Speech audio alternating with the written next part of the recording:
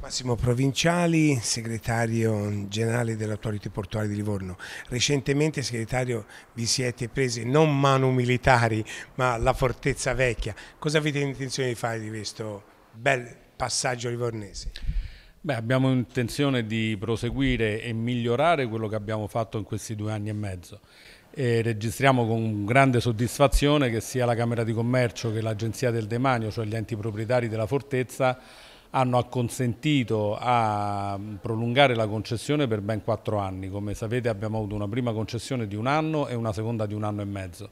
Evidentemente in questi due anni e mezzo abbiamo dato dimostrazione intanto di avere a cuore la fortezza e valorizzarla, di ospitare decine e decine di eventi di qualunque tipo, culturale, ludico, musicale, teatrale, museale e quindi evidentemente siamo, siamo, risultati un buon concessionario e questi enti hanno deciso di assegnarci il monumento più importante di Livorno per quattro anni. Ma non è finita qui, segretario? Non è finita qui, per noi la fortezza è anche un pezzo di casa perché abbiamo inaugurato nella fortezza il Port Center, una realtà ce ne sono poche in Europa e sono tutte di altissimo livello, che è un'interfaccia veramente tra porto e città, tra porto e cultura cittadina e portuale.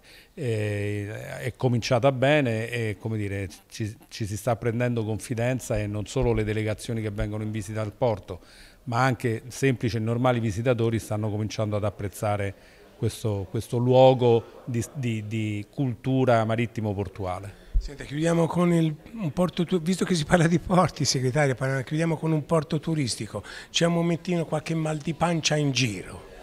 Ma a me dispiace che ci siano dei mal di pancia in giro perché noi cerchiamo solo di fare il nostro lavoro. Per il porto turistico come per altre iniziative abbiamo trovato dei procedimenti fermi da un discreto numero di anni e stiamo cercando di portarli a compimento nel rispetto delle procedure e con le prerogative degli organi decisionali dell'autorità portuale. Noi stiamo portando a compimento una procedura che vorrei ricordare è cominciata più di dieci anni fa e credo che tutti gli attori di questa procedura, sia chi è a favore sia chi è contro, abbia diritto ad avere una risposta definitiva, che sarà un sì o sarà un no, lo vedremo alla conclusione del processo. Un'altra domanda non posso non fargliela, segretario. Lei è anche presidente a Livorno Porto 2000. Come sta andando il traffico croceristico 2016? Il traffico crocistico 2016 al, al, al, a fine febbraio è ovviamente abbastanza ridotto.